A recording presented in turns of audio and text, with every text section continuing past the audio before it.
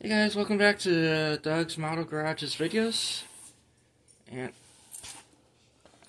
welcome back to Douglas's Model Garage's videos. And uh, just want to show you some of the stuff I found at the uh, uh the model show out in uh, Kirtland, Ohio.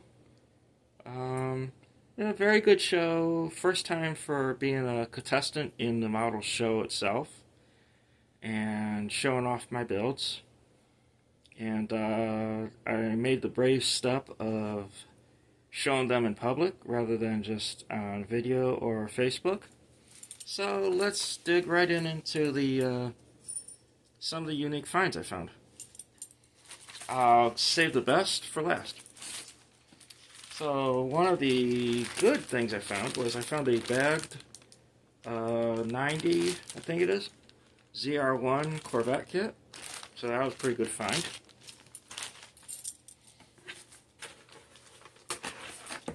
I found two AMT Corvettes. Um, they possibly could be rebuilt or used for parts, and I don't know. You know, I'll figure out what I'll do with them later. Um, this is kind of a cool one I found. It was the I recently put the front axle back on it. I just got to put the uh, headlights on it, as you can see. But it's all complete, and it's a cool car truck. And uh, here's another one I found. It was kind of in pieces right now, but uh, it might be my next hot rod project.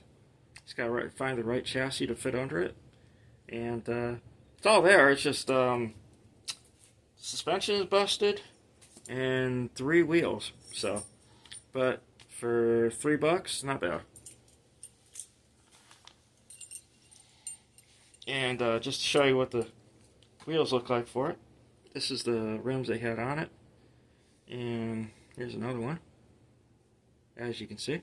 So, those are some of the parts that were on it. And if anybody wants those parts and uh, use them in your diorama or whatever, just uh, hit me up and uh, I'll be willing to give, it, give them to you. Alright, now, for some of the kits I found there when I was there. Found the uh, MPC Rusty Wallace uh, Al Aguro Alugard uh, uh, Pontiac. And hi, hi, little buddy. What's up? Come on, come on, buddy. Be good. I know. Yeah. All right, Bubba. And uh, also at the show, I found the uh, Diablo kit. There was a lot, a lot of vendors selling these and I kind of had to be a little choosy because I didn't really want a half started one. This is a complete kit, not started, so very good kit.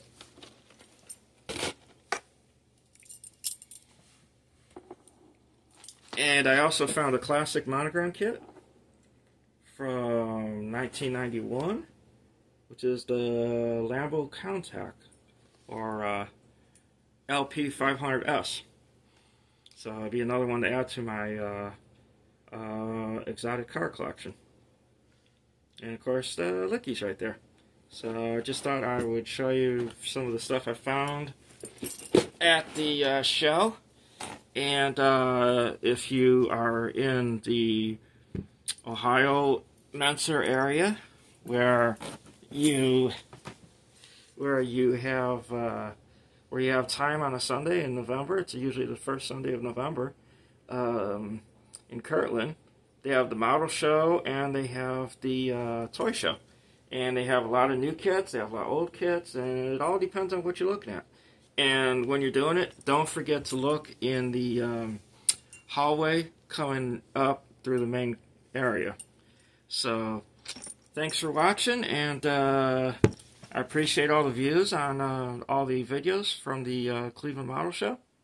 And uh, uh everybody have fun. All right. Y'all be good. Say bye, Licky.